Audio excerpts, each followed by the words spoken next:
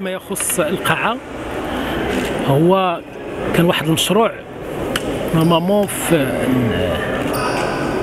في المدة الانتدابية الأولى ديال مجلس مدينة الدار البيضاء 2006 2003 2009 في تلك الفترة من المشاريع التي تم المصادقة عليها تم توقيع واحد الاتفاقية مع la fondation لاله حسنه pour l'environnement اللي من خلالها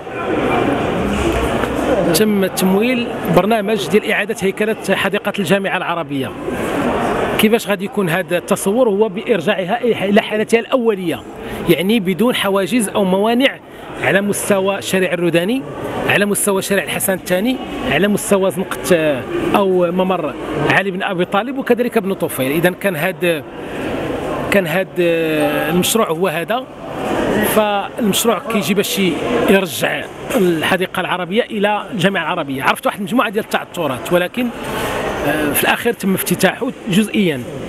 اليوم آه، ارتأت آه، السلطات المحلية مع مجلس المدينة باستكمال المشروع وذلك بهدم قاعات وهدم ما تبقى من الأسوسياسيون ديال الميديتيرانيان ديال ديال الفلاحة ديال واحد المجموعة ديال ديال ديال المنشآت باستثناء اللي هي مسجلة آه patrimoine historique هي اللي ما غاديش تشملها عمليه الهدم.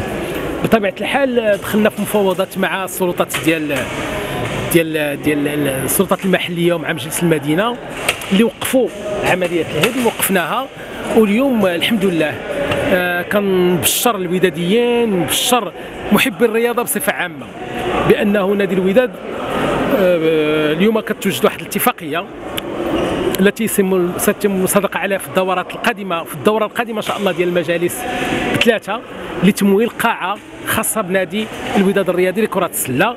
آه كاين جوج ديال السيناريوهات حول المناطق اللي كنفضلوا ما نقولوش آه الأماكن ديالهم إلى حين البت في البقعة اللي غتكون مخصصة إن شاء الله لبناء هذه القاعة اللي غتكون إن شاء الله هنا كنبغي نتوجه بالشكر للسيد الوالي والسيد عامل عمله مقاطعة الدار البيضاء أونفا وكذلك لعمدة مدينة الدار البيضاء ولجميع المنتخبين المجالس المحلية اللي آه، قبلات باش تمول العملية ديال الانتقال وديال بناء قاعة جديدة.